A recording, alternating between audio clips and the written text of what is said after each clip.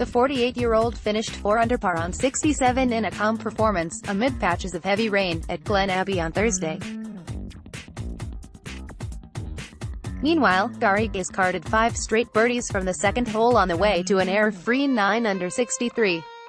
As good as the Americans' round was, the 40-year-old says it could have been better, even historic, believing that with a bit more luck he could have flirted with a 59.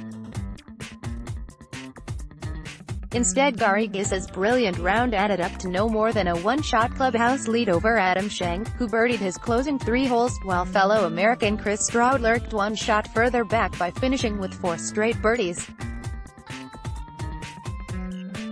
Could have been 59 watch there if a couple putts didn't lip out, said Garrigus, who has just one top 10 result this season and missed the cut in 11 of 24 starts. Lipped out on 10, I had a lip out on 17. Got lucky on the par 5 13th, hit right into the middle of the water and hit a rock and bounced over the thing and I made a birdie. Garrigus reacts to his tee shot on the 17th tee during the first round at the RBC Canadian Open at Glen Abbey Golf Club. Photo, Minos Panagiotakis, Getty Images.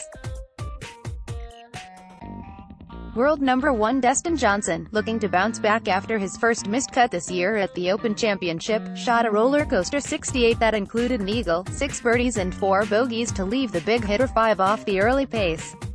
There was some really good stuff and some not so good stuff, said the American, who has already picked up two wins this season. All in all it was a pretty good day just a few loose shots.